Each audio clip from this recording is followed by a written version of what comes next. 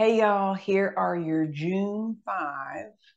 We have a standing twist or marching in place.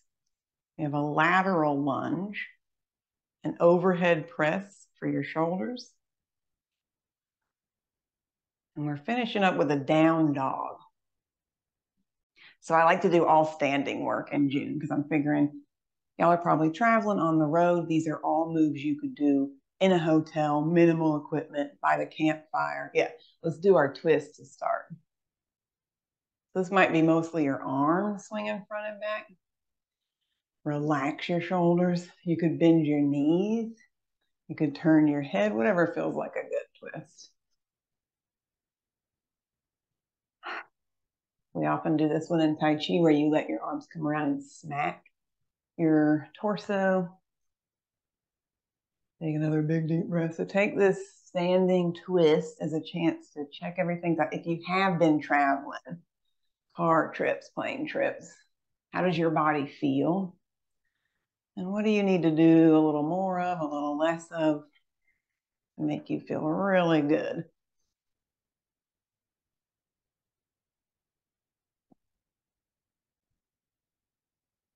And this march in place is our organizational move, but I am going to encourage you to pick up some weights if you have some weights handy. It makes it a little bit of a different move. All we're going to do is lift one knee, pause, and then see if when you transition to the other side, you can come back through center without a huge weight shift and then lift your other knee. Meaning, if I did this, or if I twisted, yes, we want to keep everything right in the center, go nice and slow one knee lifts just about 90 or whatever feels comfortable. Minimal weight shift as you transfer left and right. Let's see, I'm going to say this is number three and we're going to do 10. Breathing, broad shoulders, narrow ribs.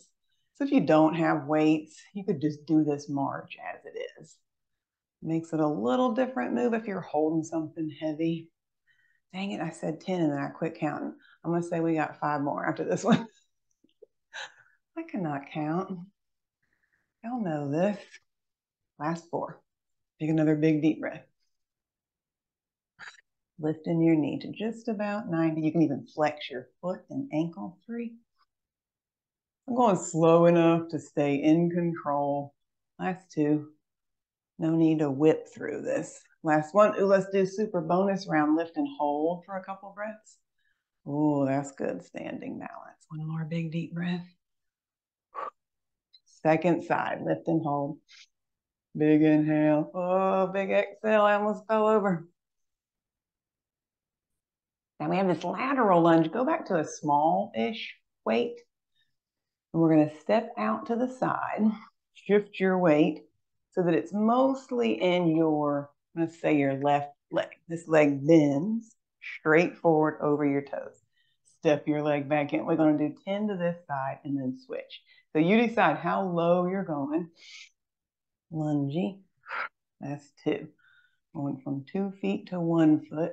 That's three. Be really nice to your knee. Watch what your knee is doing.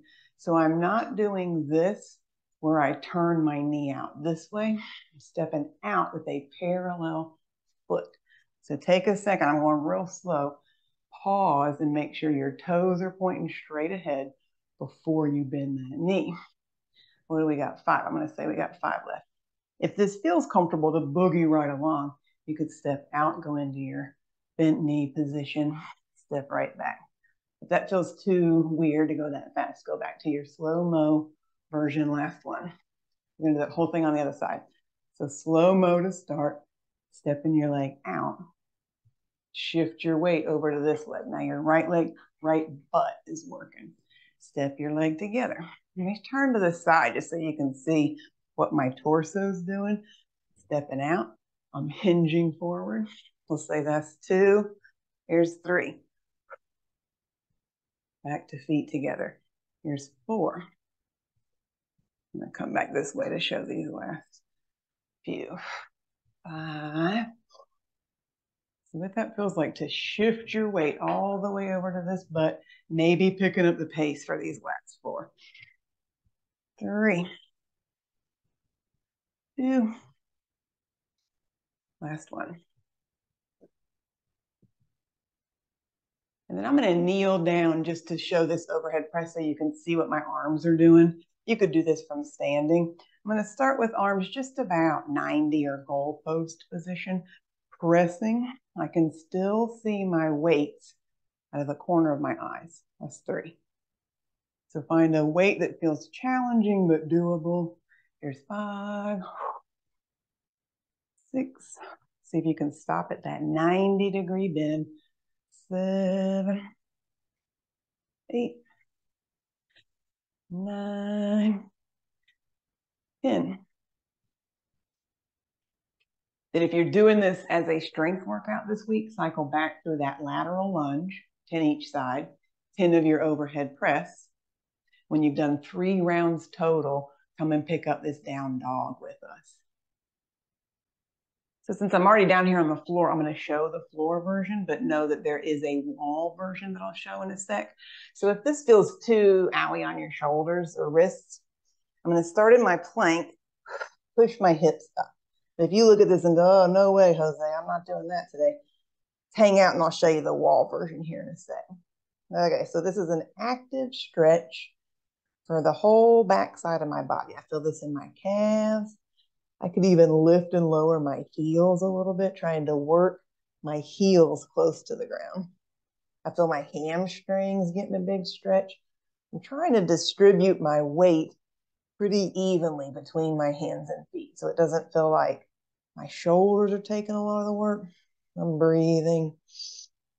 It's a pretty active position. I'm pushing the floor away, pushing my heels down. I'll take one more big deep breath.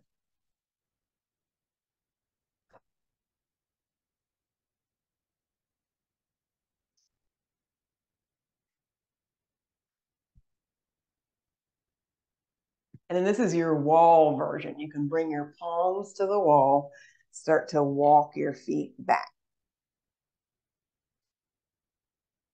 So this is a nice alternate that doesn't put quite as much pressure on your wrists. I'm still pushing into the wall, pushing into my heels, buttoning my vest. So it's a pretty active position. I'm organized, pushing and pushing.